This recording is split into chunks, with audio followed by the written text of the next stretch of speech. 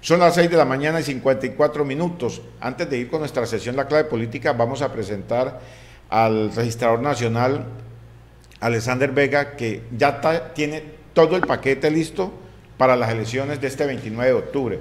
Con todas las autoridades eh, lo mostraron, con el presidente del Consejo Nacional Electoral, la MOE, las diferentes autoridades que tienen que ver en la parte electoral sobre estos mm, eh, tarjetones, sobre este, este kit que lo llaman ellos, el kit electoral, donde aparecen todos los tarjetones, donde aparece toda, todo el tema que tiene que ver con el proceso electoral durante este 29 de octubre. Alexander Vega, eh, registrador nacional, nos da a conocer este kit.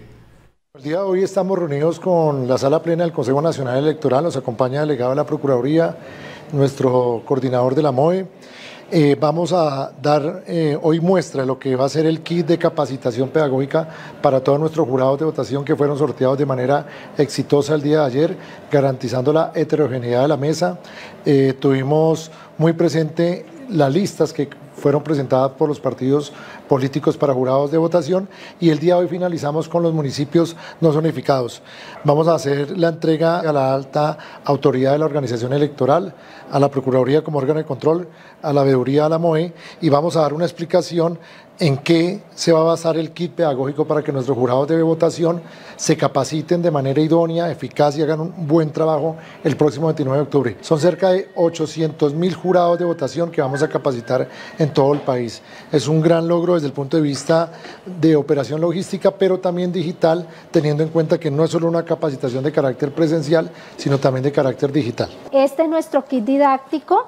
El kit didáctico comprende todo el material por medio del cual tenemos esas estrategias y herramientas para capacitar a los diferentes actores del proceso. En este momento estamos enfocados en los actores como son los jurados de votación. Revisemos qué contiene el kit electoral.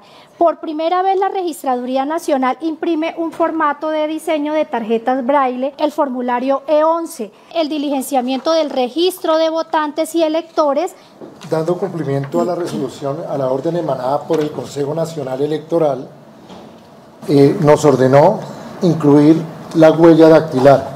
Hemos diseñado un nuevo formato que la huella va de manera individual en cada votante. Eso llegó para mejorarse. Antes era un recuadro. Es el formulario E14. Mostramos un diseño para el caso de cargo. Es un E14 de alcalde acompañado de la fotografía de los candidatos, nombre de los candidatos y el logo símbolo de cada una de las agrupaciones políticas. Estamos estrenando, que nos funcionó bien el año pasado en presidencia en medidas de garantías, señores magistrados, señores delegados de la Procuraduría y la MOE, la foto que no se traía en el 2019, un formulario mucho más grande, de colores, más dinámico y la gran innovación que fue probada, el círculo en marca de agua para que el jurado no utilice ni tachaduras, enmendaduras, asteriscos o otra forma.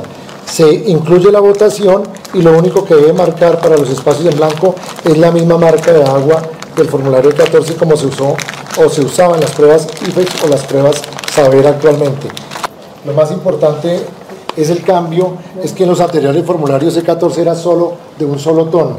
Acá le estamos advirtiendo al jurado en la capacitación que las listas sin voto preferente listas cerradas bloqueadas son las rojas. Los sobres donde se depositarán cada uno de los formularios electorales. Este es el diseño ajustado a la realidad del sobre donde vamos a depositar los votos para alcalde. En este sobre vamos a depositar los votos para Consejo Municipal. El sobre de claveros donde depositamos todos los resultados. El sobre de depositar el material inservible. También encontramos este nuestro E11 que se va a implementar para adelantar los talleres y capacitación. Contamos con nuestro tablero formulario E14 en sus tres ejemplares delegado, claveros delegados y transmisión.